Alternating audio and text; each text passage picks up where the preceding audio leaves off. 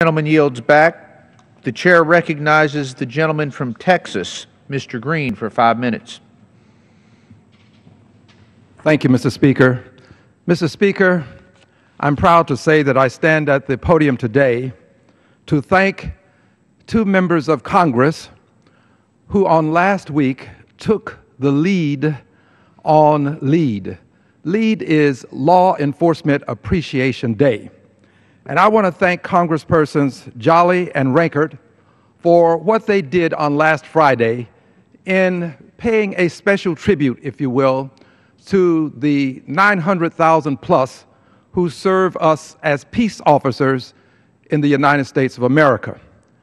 I'm very proud to say that in my family, I had an uncle who was a peace officer, and he had an influence on my life that literally changed the course of my life and set me on the course that I currently am pursuing. Uh, my uncle and I were riding along together, and I was asking a lot of questions. And he made a statement that became indelible with me. He said, This boy is asking so many questions. I think he's going to be a lawyer.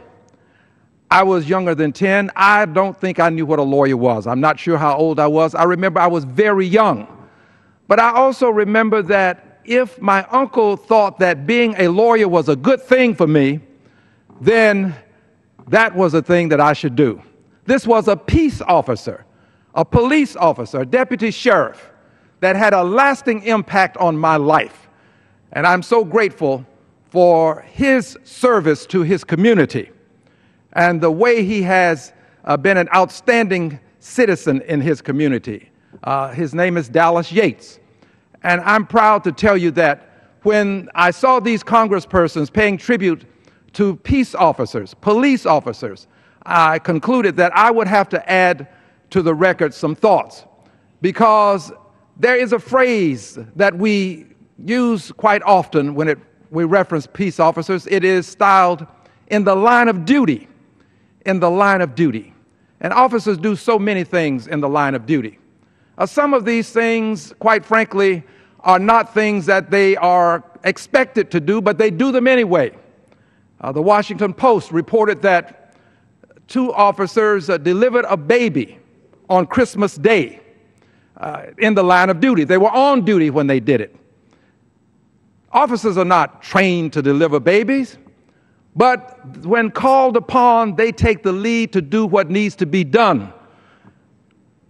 Think of the thousands of people who have been stranded and who were helped by peace officers, uh, flood victims helped by peace officers, persons with something as simple as a flat tire helped by police officers, all in the course and scope of their duty. And then, of course, we have officers who have literally gone into fires to save lives. Uh, it's been reported that officers have done this. In fact, the Tulsa World recently reported that an officer saved a life uh, from a fire in the line of duty, in the course and scope of duty. But that phrase means a lot more than simply helping, lending a helping hand. In the line of duty means sometimes that officers lose their lives. In this country, we had 27 officers to die in 2013 uh, as a result of felonious incidents, all occurring in the line of duty. We had 49 that died from accidents in the line of duty.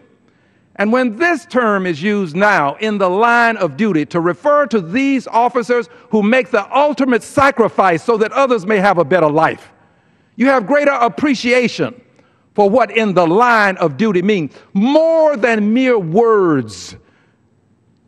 It means sacrifice.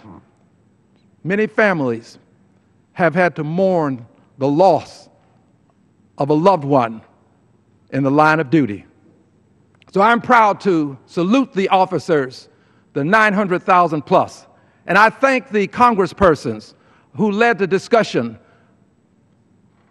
celebrating and appreciating and commemorating those who have served and some who have gone on to uh, make, their, make their transitions in the line of duty. And I think it appropriate to close with these words that express some thoughts about how we measure our lives uh, and how the life of a person uh, is measured and appreciated. Ruth Smeltzer reminds us that some measure their lives by days and years, others by heartthrobs, passions, and tears. But the surest measure under God's sun is what for others in your lifetime have you done. I want to thank the 900,000 plus officers for what they've done for others in their lifetime in the line of duty. God bless you. God bless the United States of America.